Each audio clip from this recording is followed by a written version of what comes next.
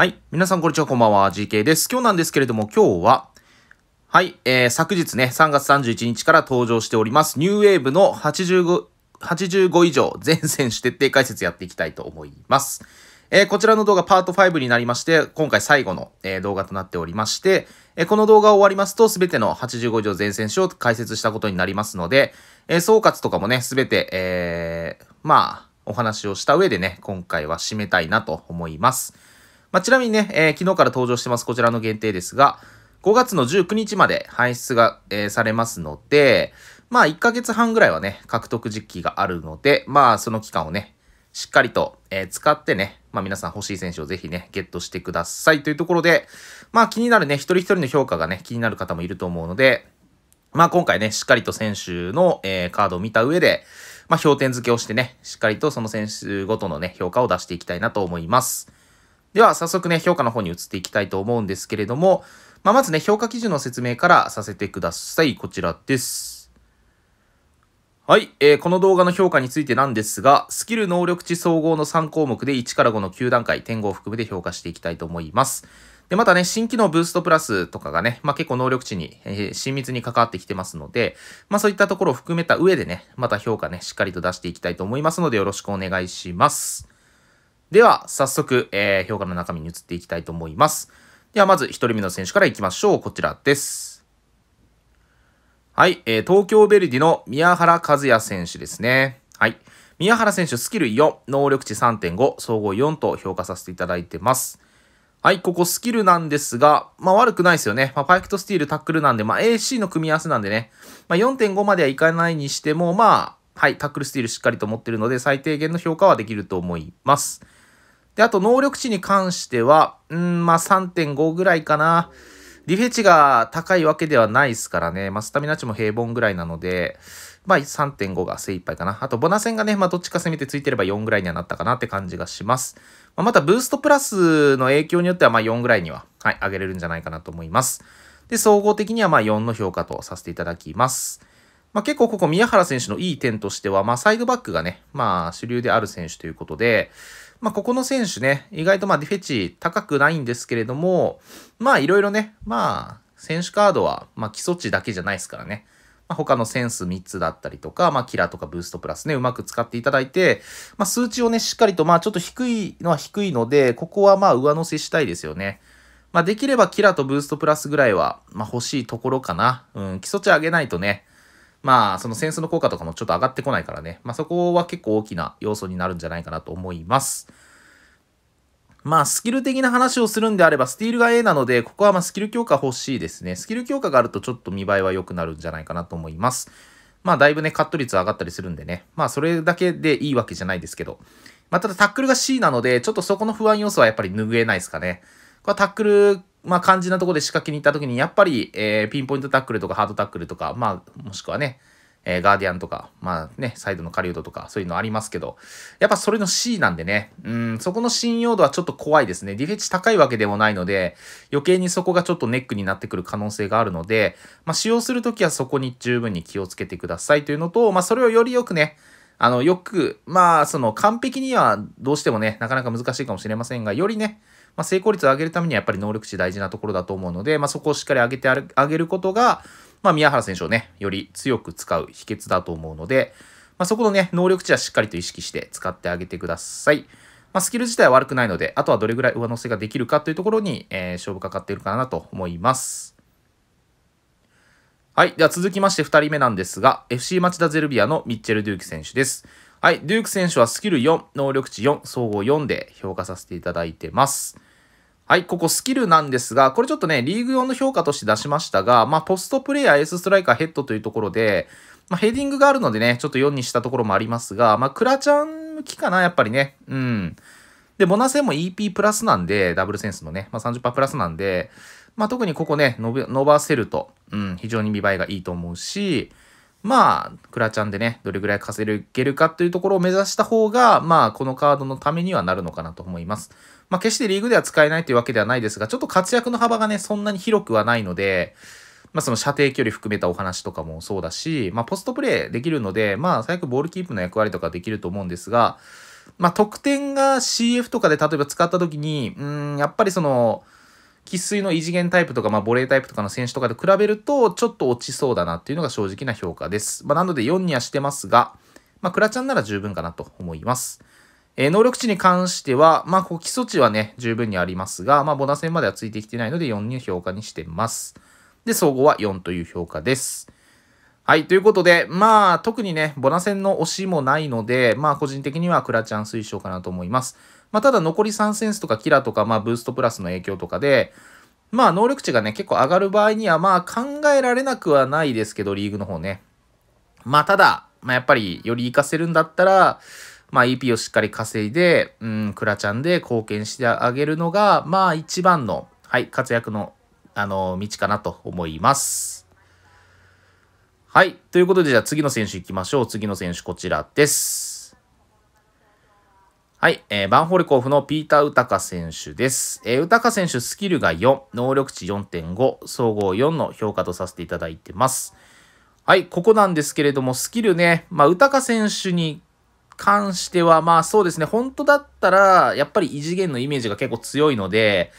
まあそういうスキルがついたカードの方が評価はしやすいんですけれども、まあ、最悪近距離とボレーをしっかりと持ってるので、まあ、ここは最低限の、はい、エリア内での活躍は結構できると思います。であとは、ま、音速ドリブル持ってるので、まあ、ここを活かしてなるべくね、射程距離を縮めていけるかどうかというのもちょっと鍵にはなるんですけど、ただ前半から行くと、うーん、ちょっと厳しいかもね。前半の縦ドリブルはあんまり僕は有効だとは思ってないので、まあ、使ってみないとわかんないですけどね。使ってみないとわかんないけれども、うん、まあ、できれば後半タイプなのかな。うん。まあ、途中出場から入れてあげると、結構このドリブルも抜けやすくなってきて、まあね、フォックスインザボックスまで絡んでくる可能性というのは結構上がるんじゃないかなと思うので、まあ、個人的には後半からがいいんじゃないかなと思います。で、能力値に関してはここ非常にいいですね。はい。ボナ戦もね、オフェンスプラスだし、まあ、基礎値も1378かなこれね。ぐらいあるので、まあ、十分高いと思います。まあ、4.5でしょう。で、総合は、え4の評価を出してます。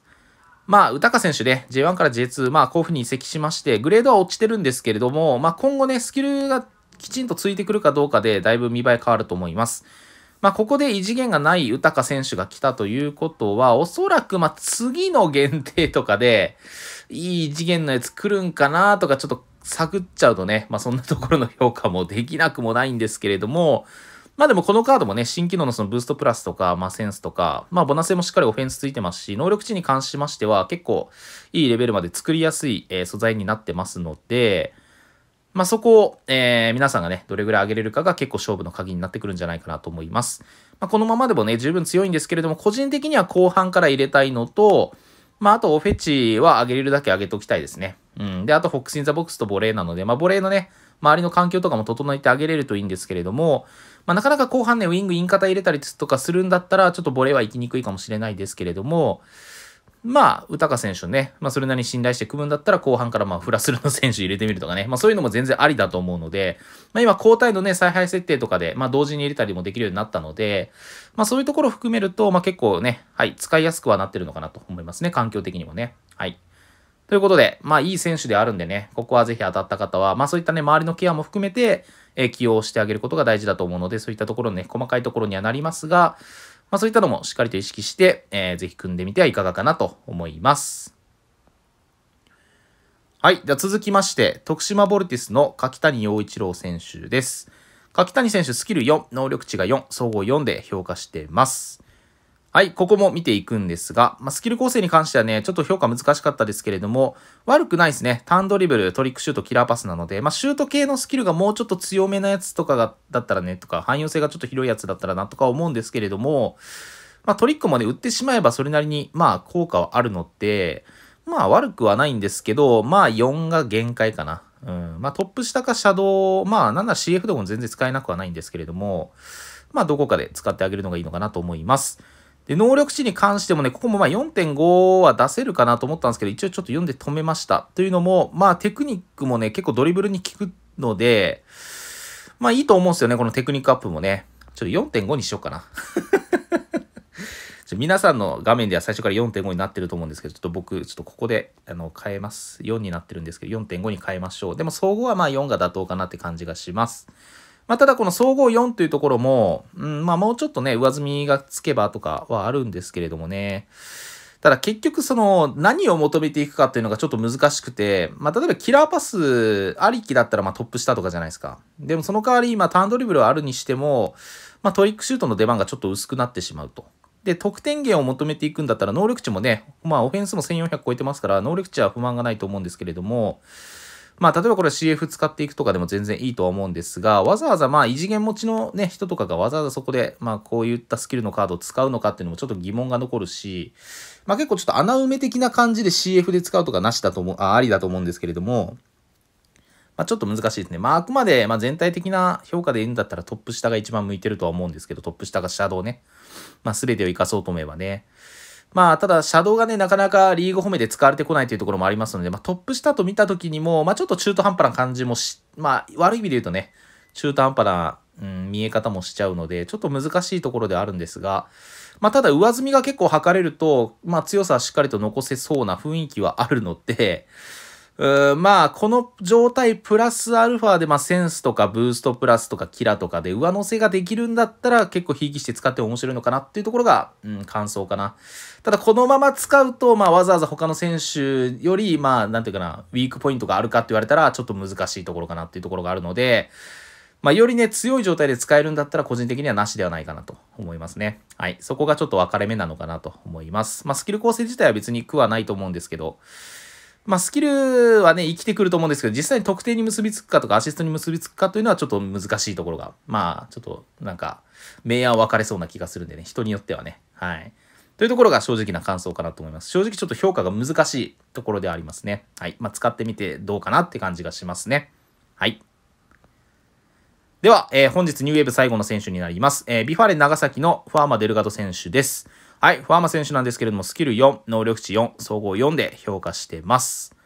はい、ここスキルね、まあやっぱヘッドもらっちゃうよね 強烈でもんね、うん、まあわかるよ。ここはリアルにリンクしてるんだろうね。まあ、ファーマのヘッドね、魅力ですからね。はい。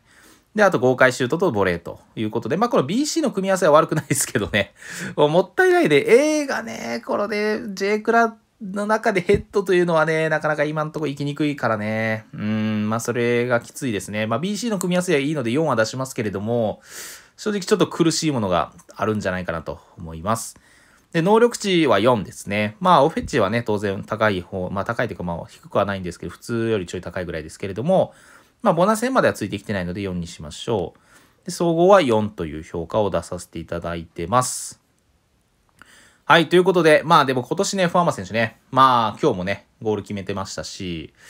まあ、非常にね、長崎でマッチングしてきてるのかなと思いますね。ここで合わせてきたなという印象がありますけれども、まあね、あの活躍を見ると、まあストライカーとかも全然可能性あるし、うん、まあ今年結構ね、長崎の限定の顔になる可能性が結構高い選手であると思うんですけれども、まあ個人的にはね、まあアビスパ時代のね、カードもしっかり持ってるので、まあ本当に今年ね、ファーマンに期待してるんですけれども、うん、まあこのカードはね、ちょっと難しいかな。でもここである、ある意味ね、スペクタクルヘッドとかしっかりもらってることで、まあ今後のカードにはつきにくいとは思うので、まあある意味次のカードから期待なのかなと。まあ活躍も含めてね、えー、活躍しだしたのも正直ね、ここ2試合ぐらいなので、まあ得点とかにね、数字が出てるのはここ2試合ぐらいなので、まあここから勢いがついてくると、よりカードにもね、勢いがついてくるということを信じて、僕は今後のカードを待ちたいというのが正直な評価かなと思います。もうこのカード活かすんだったらね、まあとりあえず、まあ、ヘッドボレーを活かしていくしかないので、難しいかな。わざわざね、これ能力値乗ってもね、このカード使いたいかって言ったらちょっと微妙だからね。もうなんならワンチャンレギュラーカードとかが今後出てくるんだったら、そっちの方が使いやすいカードがね、出る可能性も十分にあるので、まあそういったところ含めると、まあちょっと難しいのかなと思いますね、このカードね。はい。ちょっと癖が強すぎるなっていうね、のが正直な印象でした。まあ悪い、まあもしこのカード使うんだったらヘッドとボレー生かすために、まあクロス十分に上げるとか、まあ、プラスルで組んであげるとか、まあ、そういうところをしないとちょっと厳しいのかなと思いますね。はい。ということで、えー、5選手の評価が終わりまして、えー、J1、J2、計 J1 が18人、J2 が10人、計28人の、えー、評価が終わったことになりますので、ここで、えー、評価を、まあ、総括をさせていただきたいんですけれども、まあ今回のね、メンバー見てもわかる通り、結構そんなにね、めちゃくちゃ、まあちょっと厳しいという選手はあんまりいないです、正直。まあそれぞれね、なんか味が出てていいなと思うんですけれども、まあただやっぱり、まあこの23シーズンの限定というところでは、よりこのブーストプラスという新機能だったりというところが、まあしっかりと生きてくるとか、まああとはそのね、22の限定に比べたりとかして、えー、その85から88の選手とか、89から94の選手かな。とかのスキルのね、ちょっと優先度もこっちの方が上がってるので、そういうところをより活かせるカードが結構そのアドバンテージをすでに握ってると言えますので、よりそういう選手だとね、まあちょっと育てやすいのかなとか、まあよく見えやすいのかなというのはあると思います。まあただね、最、あのー、まあこれ言いたいところがありまして、後半のね、去年の後半の限定がちょっと良すぎて、逆にちょっとここがね、霞んで見えるんですよね。グレード的にもそうですけれども、まあやっぱりね、ちょっと後半バグってましたからね。まあ毎年そうなんですけど、まあ、ただ新機能とかを全部入れると別に負けてはいないと思うので、まあ、そこはま気にしなくていいと思います。まあ、というよりも、えー、その選手が今後、例えばそのね、さっきファーマ選手のところでも言いましたけれども、まあ、宇高選手とかもそうなんですけど、今後もっといいカードが出そうかな、どうかな、というのもしっかりと考えた上で狙いに行くのは結構大事かなと思います。まあ結構ね、その85を初めて超えたとかね、まあそういう選手を早めにちょっと確保しときたいなとか、今後ちょっと活躍とかね、今結構 J もね、頻繁に会ってますけれども、まあリアルなリーグの活躍とか考えて、活躍してる選手っていうのはやっぱり年間で通しても何個か限定が出たりとか、まあするので、まあそういうところも含めて、こう今狙いに行くべきなのかっていうのはしっかりと考えた上で、まあ狙いに行くなら行くで行った方がいいと思います。で、まあ、あとはね、まあ、クラチャンで使う選手とかも当然ね、クラチャン用の選手とかもいます。あの、ボナス戦ね、上のピックアップとか金 EP プラスとかになってるので、まあ、そういった活躍できる選手もいますし、まあ、リーグでのね、活躍期待される選手もいると思うので、まあ、比較的バランスは悪くはないとは思いました。個人的には。まあ、限定の評価としては、まあ、上、上まではいかないかもしれないけど、まあ、中の上ぐらい は行くと思います。まあ、平均よりちょっと高いぐらいじゃないかなと、個人的には思います。で、今後ここがね、限定の基準になっていくので、じゃあね、次の限定が出た時にニューウェーブと比べてどうかとかそういうね、話になっていくとは思うので、まあ大事な限定ではあったんですけれども、まあ序盤にしては、まあ、まあ高すぎず、低すぎずっていう感じで、まあいいスタート切ってるんじゃないかなと思うので、まあ今後のね、限定先生にも十分に期待できるかなと思います。はい、ということでね、しかもニューウェーブ第1弾ってついてるんでね、第2弾とか第3弾がね、来る可能性もあるので、まあ、各チームね、新規加入選手がまた限定でピックアップされる可能性がね、ぐんと増えたというところも、まあ、人によっては結構楽しみ増えたんじゃないかなと思うので、まあ、今後のね、もしかしたらニューウェーブね、続くと思うので、まあ、今後のニューウェーブ前線にも期待しましょう。ということで、えー、今回のね、えー、この動画をもちまして、ニューウェーブの全85以上選手で、えー、徹底解説は以上になります。ご視聴ありがとうございました。この辺で失礼します。バイバイ。